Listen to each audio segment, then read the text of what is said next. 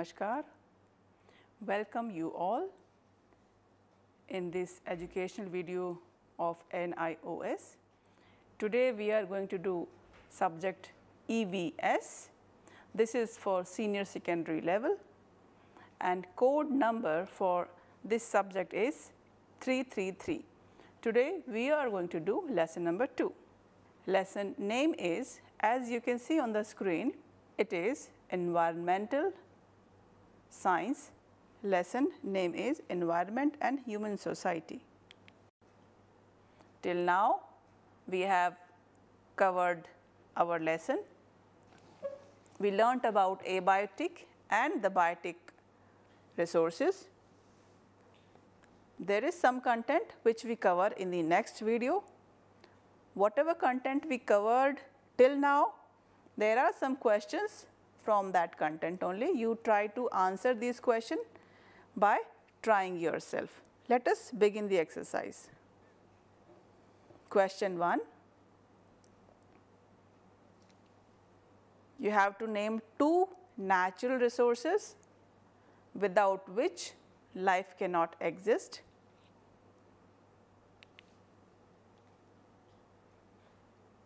See the answer. The first answer is air and the second is water. Without both these resources, human cannot survive. There are many factors, many resources, but these two are the most required. Question 2, you have to state two uses each for the land and the second for the metals which are used by humans. The two uses for the land is that first humans started making shelter and the second human used land for agriculture, for pottery etc. so many work.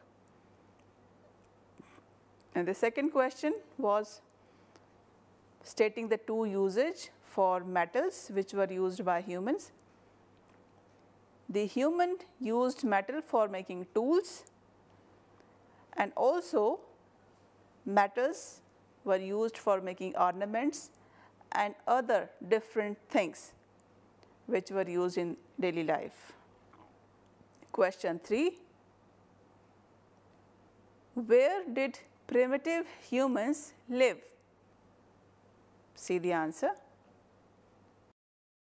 Caves. It was dark inside. It was long, long time ago. Question 4. You have to state the advantage of their being able to walk on their two feet. What is the answer? Earlier, when the humans were using all the four arms and leg for walking, but now their hands became free to make tools and carry out many other activities. Question 5.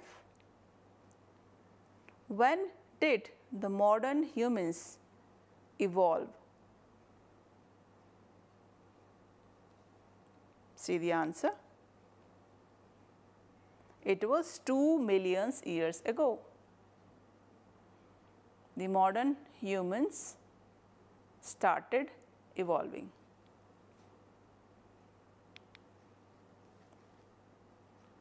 Question 6. You have to state two uses of animals for human. What are the uses? Let us see the answer. The first use of animal is they were used as a food and the second use of animal is animals were used for transportation from one place to the other place. So, humans used animals for food and transport.